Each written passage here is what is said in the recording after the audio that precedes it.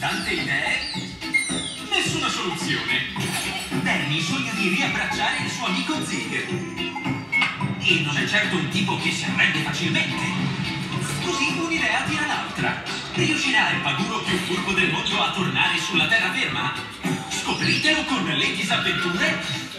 Eh, le avventure di Danny, una nuova serie. Da lunedì 13 marzo alle 17.35 su Dea Kids.